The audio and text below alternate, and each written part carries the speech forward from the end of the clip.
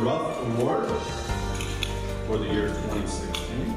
Congratulations to Triumph Step. Wow, thank you. I've been a member of the Coral Gables Chamber of Commerce for a year and I never knew that it was going to be such an amazing experience. So I really want to thank all the members and the chamber because they really make us, they give us the easy path for success. This award though is happening not just because of Triumph Steps, it really makes it possible.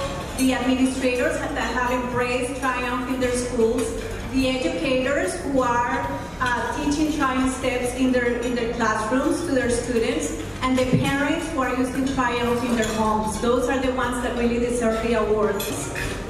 I am extremely happy to be here, but I'll tell you there is one person who's happier here, and that's my daughter who's sitting there.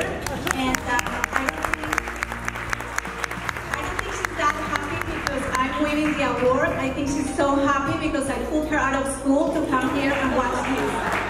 Um, Sophia is the inspiration behind Triumph. I've always told Sophia that thoughts become things and that she needs to keep them beautiful. And uh, a long time ago, like for nine years, I've been repeating Sophie, thoughts become things, keep them beautiful.